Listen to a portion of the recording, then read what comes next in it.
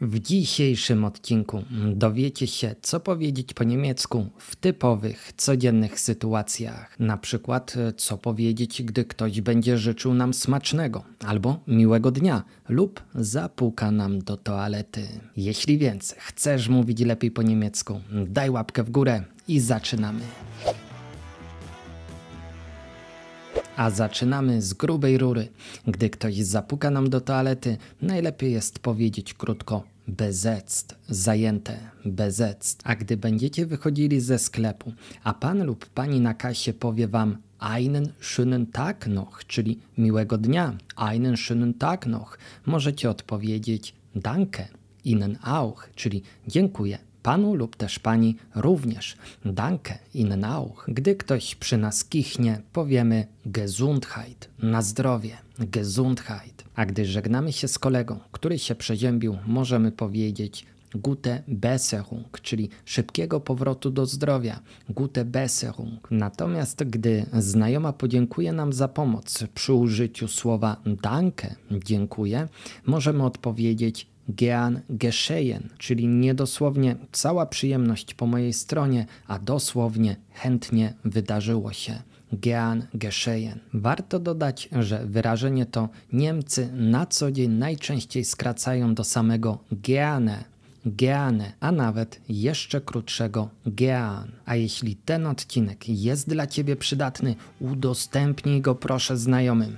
Dziękuję. A my wracamy do naszych zwrotów. Gdy kogoś właśnie poznajemy, powiemy freut mich, Sie kennenzulernen, czyli miło mi Pana lub Panią poznać. Freut mich, Sie kennenzulernen. Ewentualnie freut mich, dich kennenzulernen, czyli miło mi Ciebie poznać. Freut mich, dich kennenzulernen. Na co możemy odpowiedzieć? Ich freue mich auch, czyli również mi miło. Ich freue mich auch. Lub bardziej szarmancko, die Freude ist ganz meinerseits, czyli cała przyjemność po mojej stronie.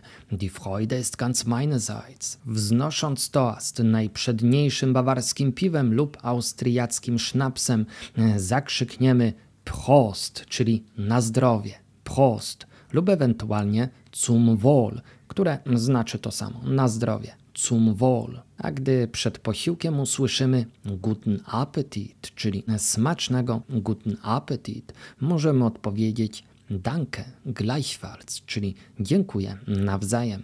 Danke, gleichfalls. A gdy wchodząc na kantynę w pracy usłyszymy Mahlzeit, co można luźno również przetłumaczyć na smacznego, możemy odpowiedzieć za pomocą tego samego słowa, czyli powiedzieć Mahlzeit. A jeśli podobały Wam się praktyczne zwroty z dzisiejszego odcinka, to jeszcze bardziej spodoba Wam się mój intensywny kurs niemiecki w 6 miesięcy. Niemiecki w 6 miesięcy to najszybszy sposób, żeby łatwo nauczyć się niemieckiego. Kliknij link, który zostawię Ci pod tym nagraniem i dołącz już dzisiaj szybko i bezpiecznie. A ponieważ to praktyka czyni mistrza, Pora na zadanie dla Was. Dzisiaj w ramach zadania napiszcie, jakiego słowa użyć, gdy ktoś zapuka Wam do toalety.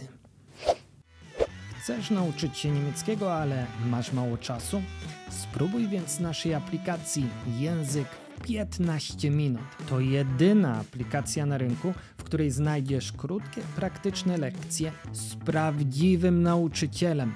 Poznasz przydatne zwroty, osłuchasz się z językiem niemieckim, nauczysz się mówić i zapamiętasz z łatwością dzięki inteligentnemu systemowi powtórek. Wejdź teraz na stronę językwy15minut.pl i spróbuj naszych darmowych lekcji.